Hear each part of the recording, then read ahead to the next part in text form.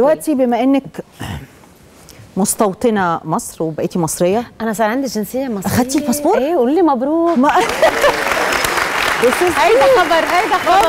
merci merci. أنا آه. أول شيء آه أنا أول شيء كثير فخورة وعن جد كثير سعيدة إني أخذت الباسبور المصري لأنه خلص أنا عائلتي من مصر وبنتي مصرية وجوزي مصري.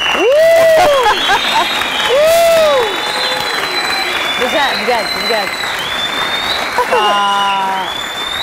يعني وما كنت بتصور حالي إنه أنا ما أكون حاملة الباسبور المصري وأنا عايشة هون وعائلتي هون. جوزك وبنتك. وجوزي وبنتي صح.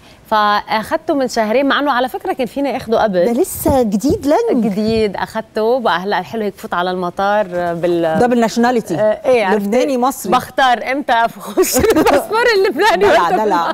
دلع دلع.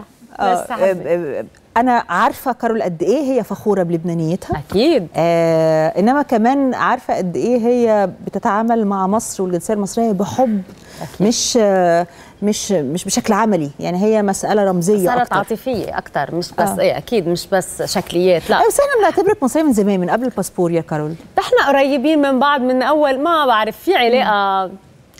يعني أنا بتعرفي آه، أول شعب استقبلني فنيا بعد لبنان أول هيدا هو الشعب المصري عن جد. يعني استقبل لي شغلي وحب لي شغلي.